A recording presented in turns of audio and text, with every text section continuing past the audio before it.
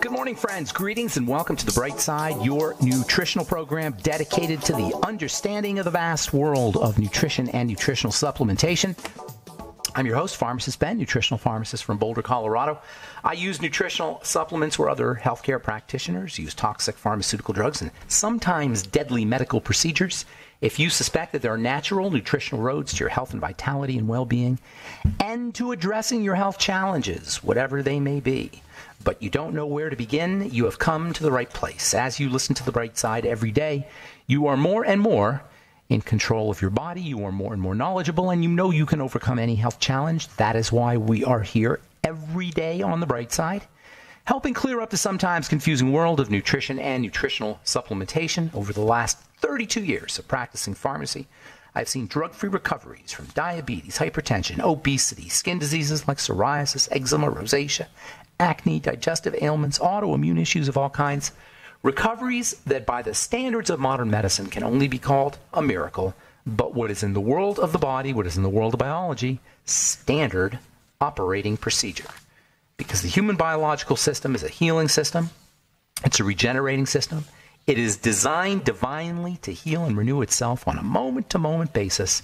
And while some folks may call that healing, renewing, regenerating system a miracle, it really is just the way the body works.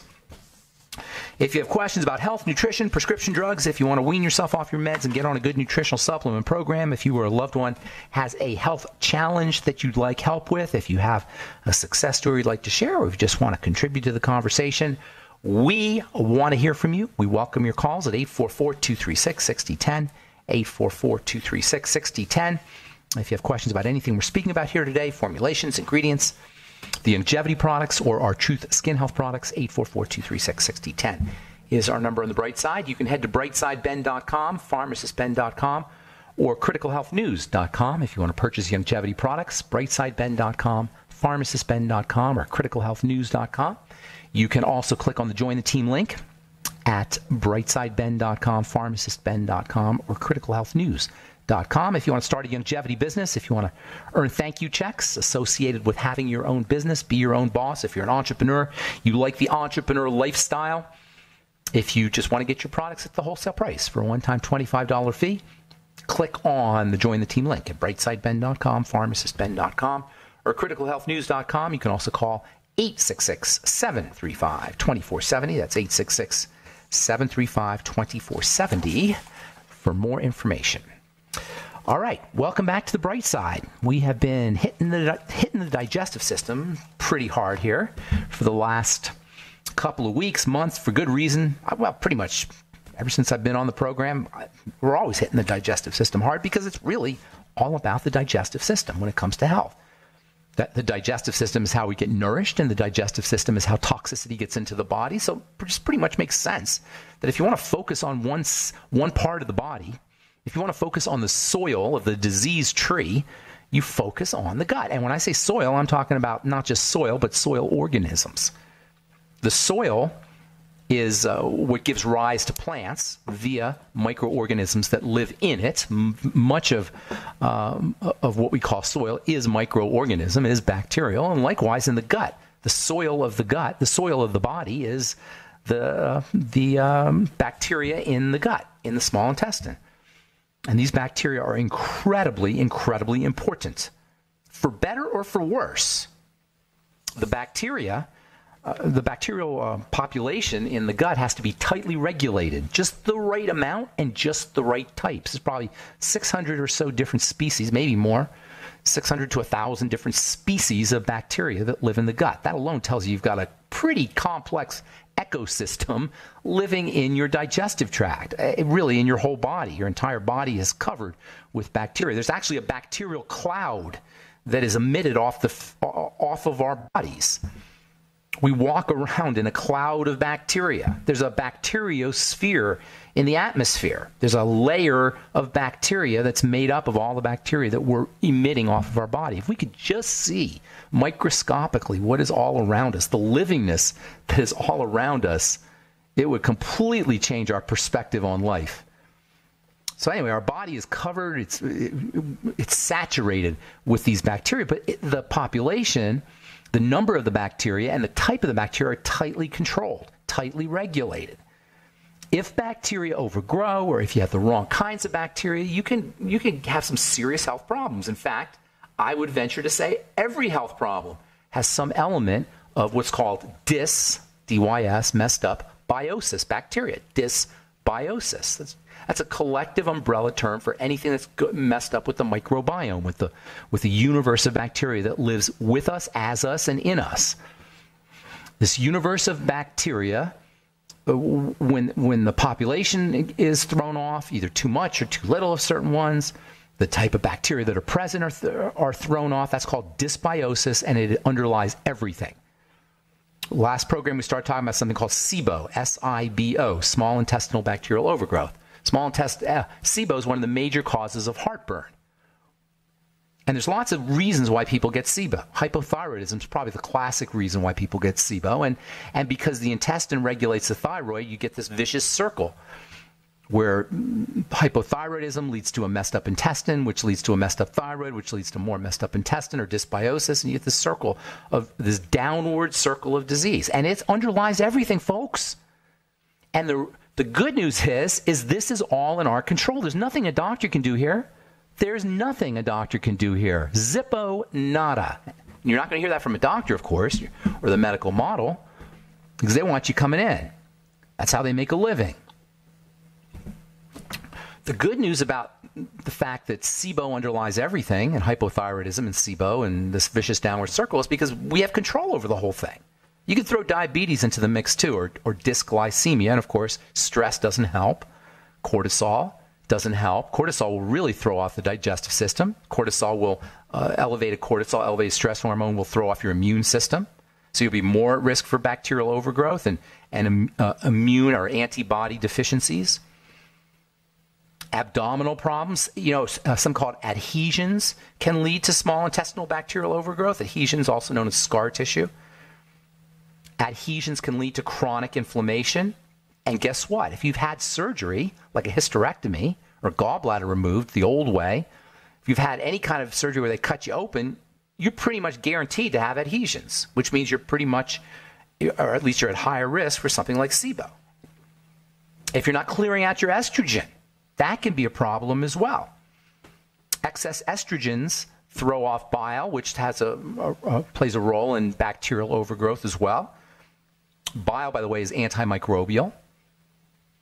So it kills off excess bacteria, excess estrogen, or, or incomplete, estrogen, incomplete estrogen elimination can lead to SIBO, small intestinal bacterial overgrowth. And most importantly, the kind of foods we eat, especially processed carbohydrates and fruits for that matter, and fruit juice. Yesterday we had Dr. Jamie Kaufman on, and she says that a lot of uh, a lot of uh, GI specialists are telling people not to drink fruit juice. I've been saying don't drink fruit juice for years. I've been saying this, especially for your kids. Don't give your kids fruit juice.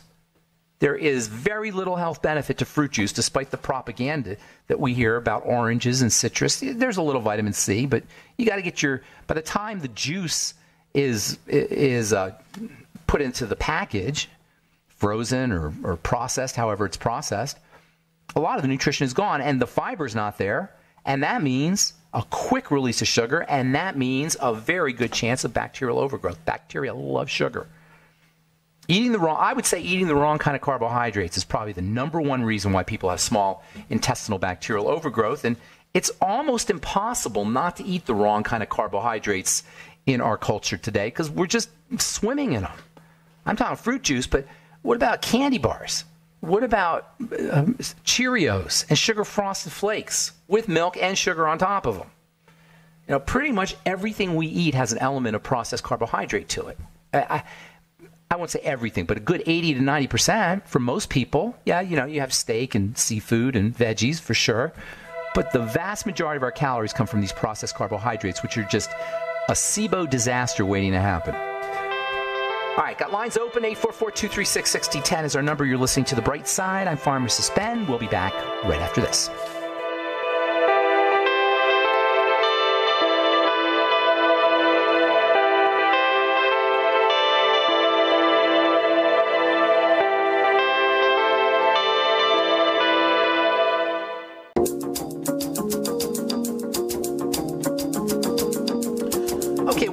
On the bright side. I'm Pharmacist Ben. Got lines open 844 236 6010. 844 236 6010.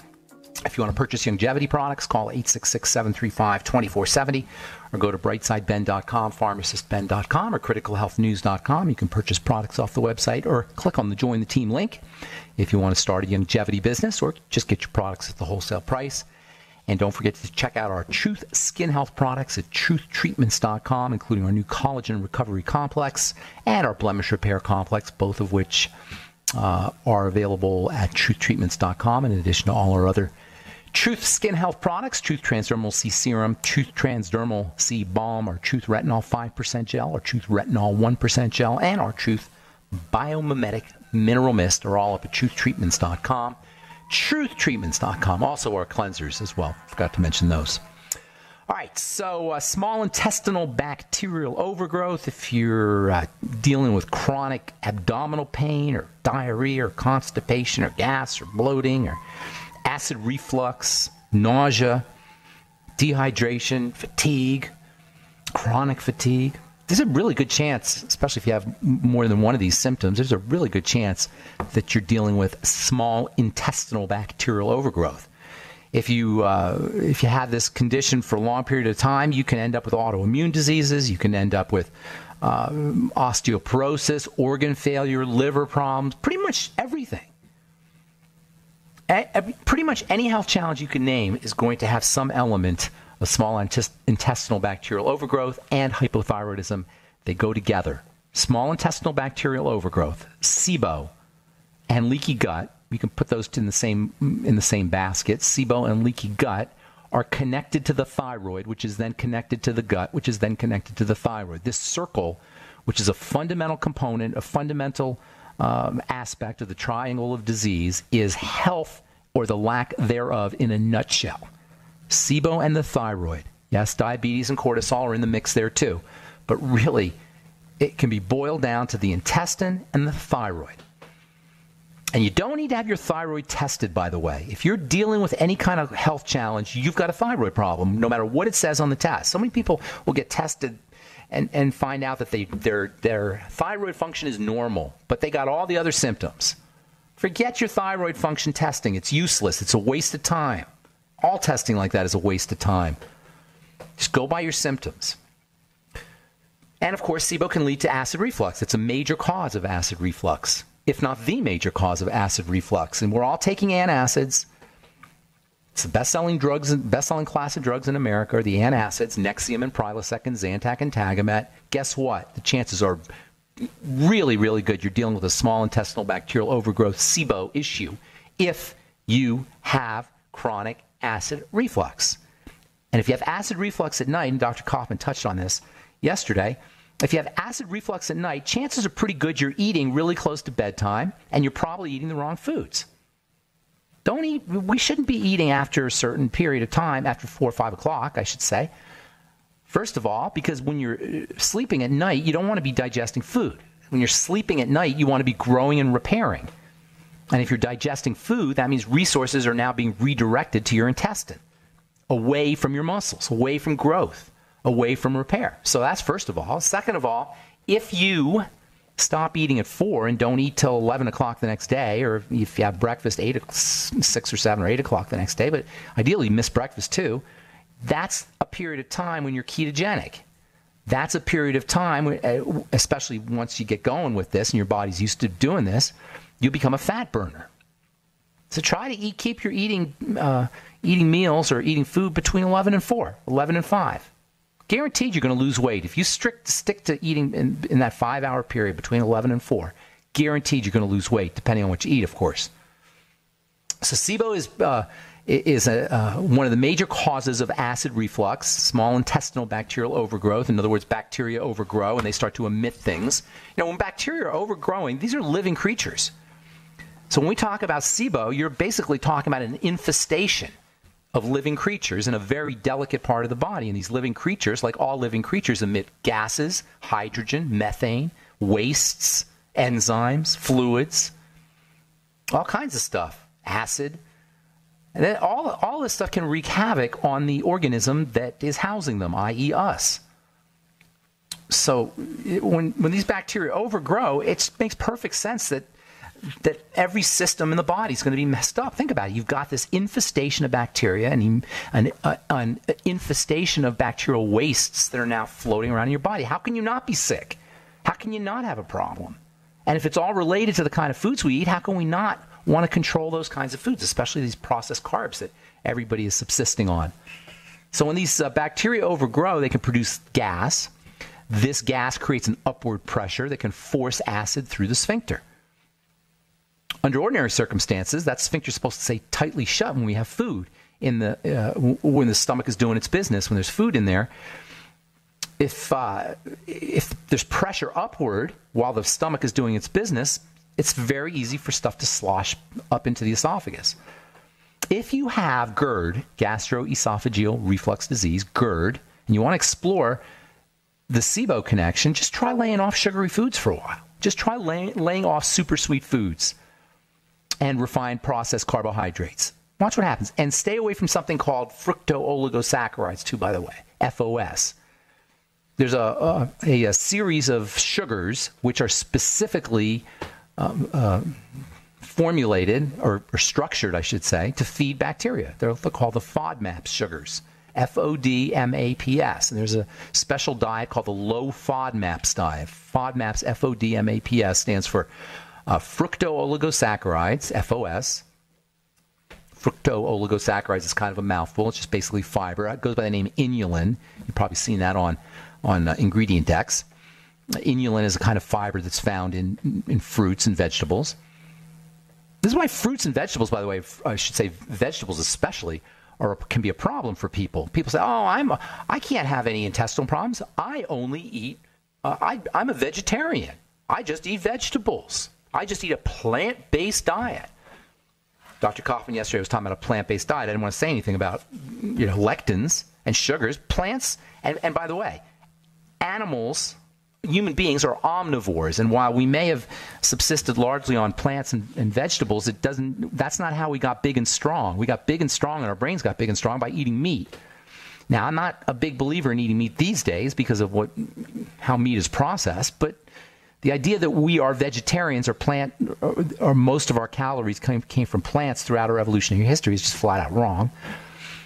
You got to be careful with plants because of the lectins, the plant defense molecules like glucose, uh, gluten, and also because of the FODMAP sugars, the inulin, the fructooligosaccharides. FODMAP stands for fructooligosaccharides, disaccharides, monosaccharides, and polyols.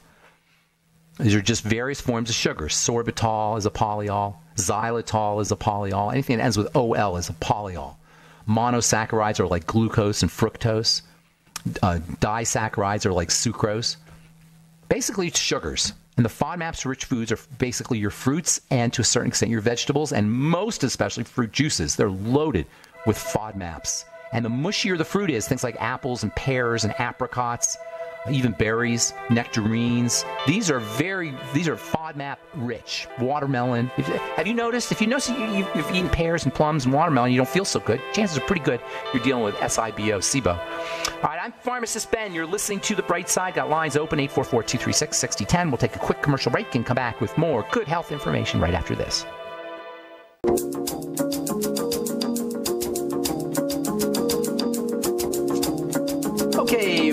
Back on the bright side. 844-236-6010 is our number, and we've got lots of open lines for you. 844-236-6010. If you have questions about anything you're dealing with in terms of health, ingredients, or formulations, or success story you'd like to share, 844-236-6010 is our number on the bright side.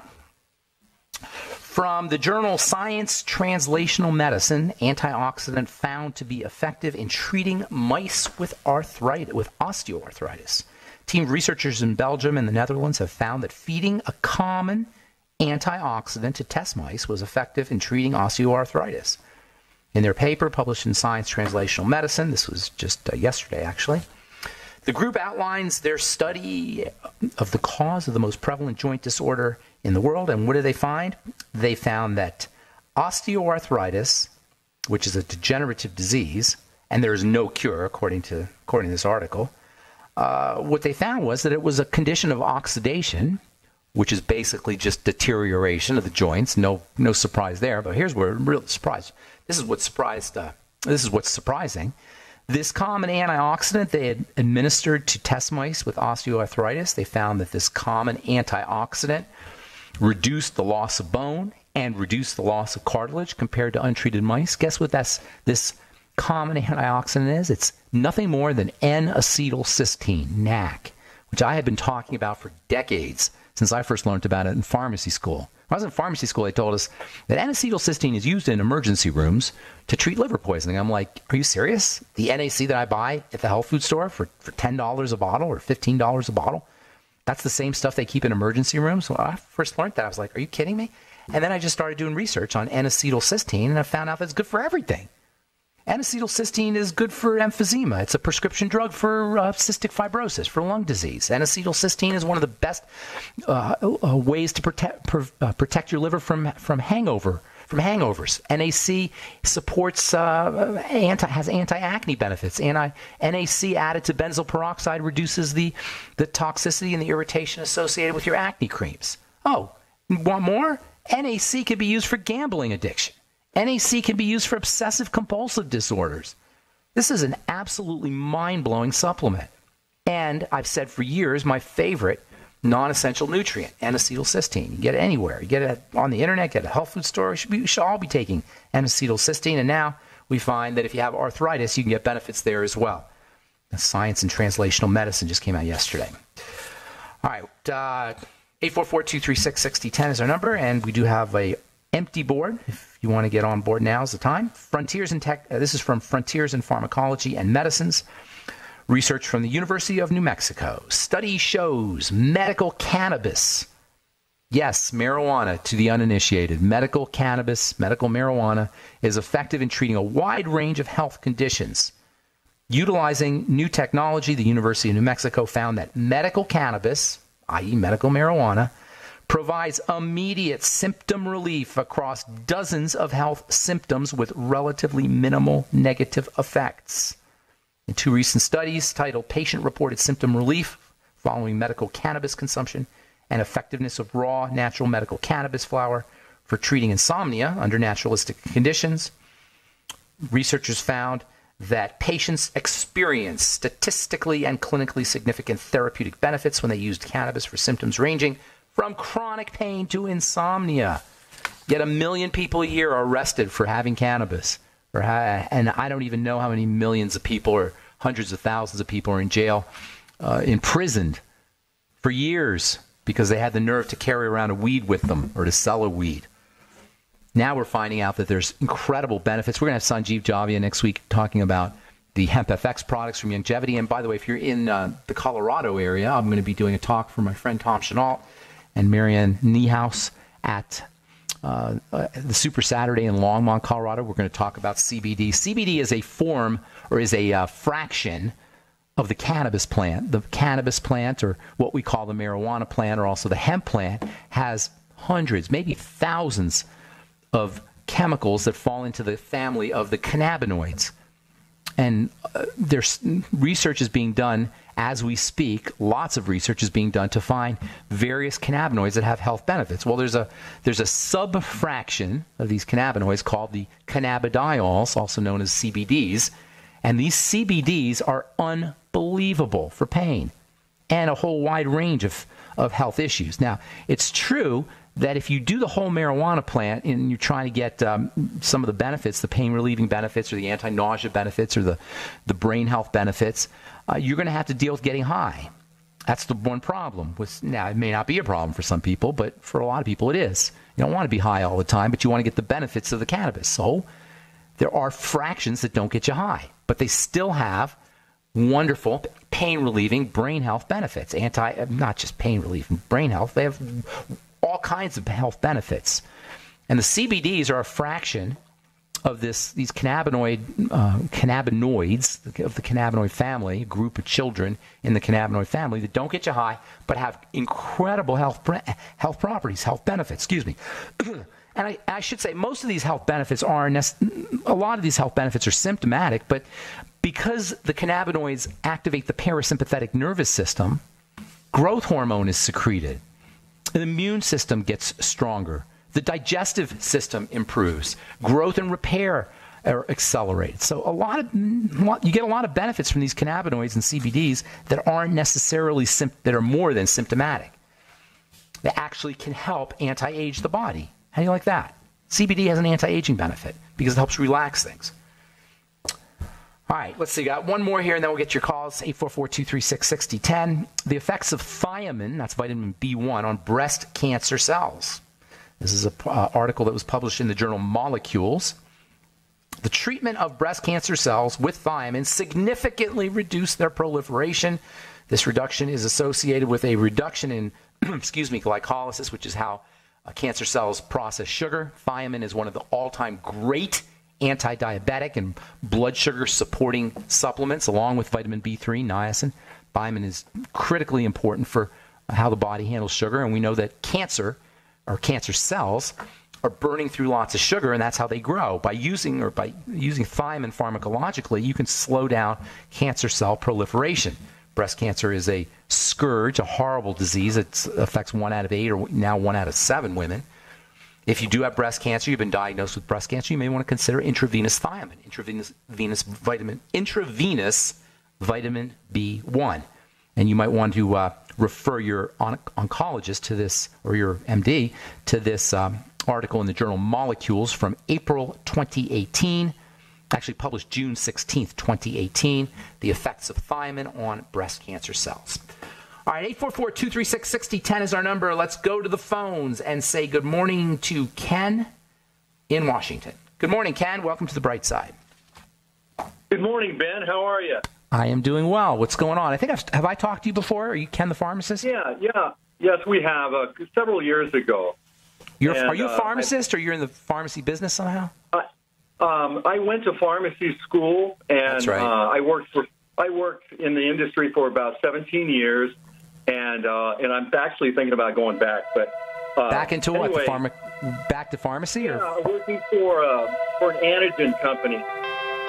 Interesting. Now, I think I, last time I talked to you, you were thinking about joining longevity. It's been a couple years, I think, since we've talked. Yeah. Well, I'll so give I, you an update when we come back. Okay, good. Thank you, Ken. All right, I'm Pharmacist Ben. Got lines open 844 236 6010. You're listening to The Bright Side. We'll be back after this.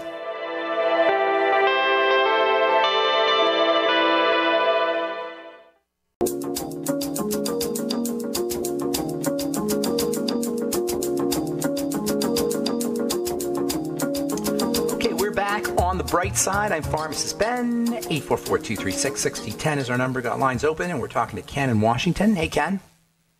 Hey. Hey, Ben. Hey. So what's going on? How can we help you? Well, uh, I, just a couple random things. I was driving from the store. I came back, and I, I was driving past a, uh, a farm supply store, and they were adverti- uh, advertising CBD oil. And I okay. thought, my goodness, we changed greatly in the last few years? Isn't that amazing? So, uh, Isn't that amazing? And I, it's like think, it's only been three or four years. Yeah, and uh, thank you for sharing and being a part of that movement. That's just uh, uh, loosened people up to uh, to right. be healthy. And so, uh, and another random thing too is uh, we have a parrot as a pet. My kids are allergic to dog hair, cat dander, that kind of stuff. So we've always had birds. Well, I got our bird on Arthrodex, and uh, so I tell everybody I got a bird on BTT. So uh, it, it, it, you know, and the bird loves it, and uh, people think I'm nuts, and it doesn't. Now, matter. wait a minute. It's, what's Arthrodex? That's is that a Youngevity product? Yeah, but it's it's very similar to BTT. Okay, it's for animals. Yeah, uh huh. It doesn't have the uh, you know the the orange flavor and the stevia, but okay. It's, uh, but it it's more dense uh, uh, nutrients instead of the the flavoring that humans require. And they're marketed for pets. Yes, uh huh. It's called Arthrodex. Okay, well I know pets pets benefit from supplements. Go ahead. Yeah, but essentially it's BTT for animals. That's awesome. That's awesome. I, yeah. I, I, knew pets benefit from. I didn't know. I don't know much about birds, but do you have a dog or a cat? No, uh, our, our kids are allergic to. Uh, oh, you were saying.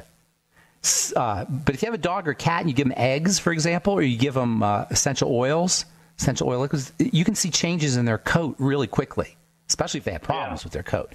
But you can see changes even if they don't have problems with their coat. Uh, eggs and uh, essential fats make your uh, your pet, your cat, or your dog's coat shine and strong. And so it would do the same thing for humans. Humans, humans and animals share a lot of uh, similarities when it comes to essential nutrients. There are some essential nutrients that uh, I think animals can make. Vitamin C, for example, dogs and cats can make.